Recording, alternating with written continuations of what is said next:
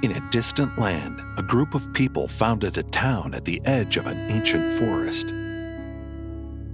Despite getting their sustenance from the trees, the inhabitants avoided lengthy trips inside since everyone feared the wolf that lived in the depths of the undergrowth, a dweller as old as the mountains of the region. With the passing of time, caution gave way to hunger. Then a harsh winter punished the village, making the people take more and more risks in the forest.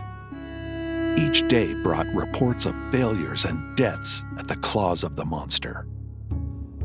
In a desperate attempt for different results and betting the innocent would be spared by the creature, a group of children were sent to do what the adults could not. But the wolf made no distinction. Inside the forest, one by one, the children were devoured by the creature until the last one of them cried out in tears I just want to not be so hungry. I don't want to die. The creature heard his pleas and, in a surprisingly human voice, said to the child, Then you will never need to eat food. While you carry my mark with you, you will be one of the sons of death. That is our pact.